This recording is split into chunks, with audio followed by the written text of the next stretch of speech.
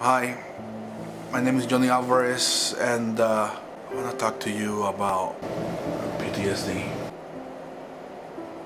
It is something that is hard to do. Something that a lot of people that get go to combat get. It used to be called many different things. When you experience things, you bring them home sometimes. I tell you about me. I used to be. I used to be fun.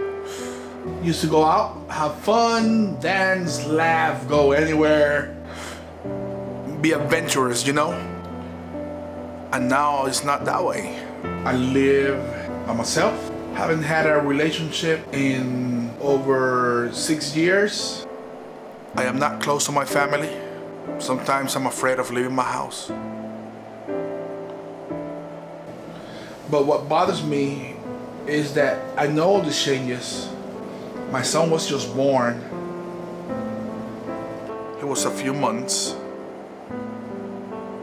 He was about, I don't know, eight months. And at the time I didn't know what was going on. I didn't know what it was.